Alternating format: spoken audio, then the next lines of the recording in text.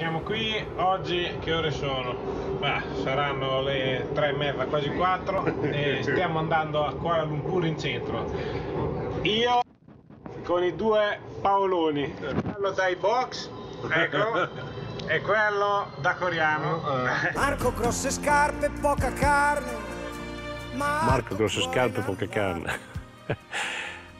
Era la figura perfetta. Avevi pensato di vincere? Sì, perché ero in testa, dopo però mi sono steso e...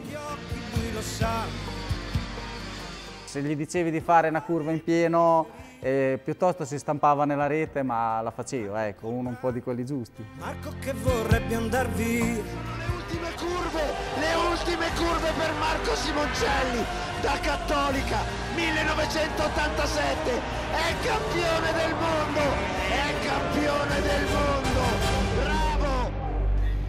Giusto comunque fare le cose per bene, essere seri in quello che si fa, però è anche giusto mm, non, non prendersi troppo sul serio, insomma. Mi dava gusto passare il tempo con lui perché era molto serio e molto impegnato e quando faceva, faceva il pilota, però da, a, per il resto era proprio un patacca, no? Quindi faceva, era, era divertente stare con lui.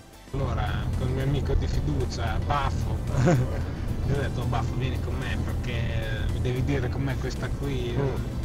Ho chiesto cosa pensavo, ho dato benestare e potuta. Se non ci fosse stato il benestare, io avrei avuto una X sopra. But in the future happen something with you will be a problem. Ok, I will be arrested. Aveva il contratto dell'Honda per l'anno dopo con il Miller, lui era al settimo cielo.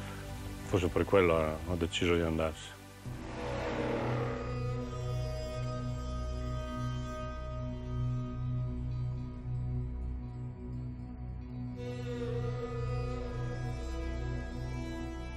Aver saputo che lui sarebbe finito così e avergli tolto la moto prima, l'avresti ucciso fuori, perché lui era un cavaliere da moto. Ora come una magia il numero 58 è dappertutto. Ora c'è chi si accorge di aver avuto e perso il figlio che non ha mai avuto e forse non avrà mai. Noi abbiamo vissuto 25 anni bellissimi e questo non ce li toglie nessuno. Ora chi ha delle regole pensa che ce ne sia forse una sola che vale più delle altre. La regola per cui l'uomo ha successo, vive e sopravvive a se stesso quando riesce a avere attorno a sé amore ed armonia. La regola di Marco.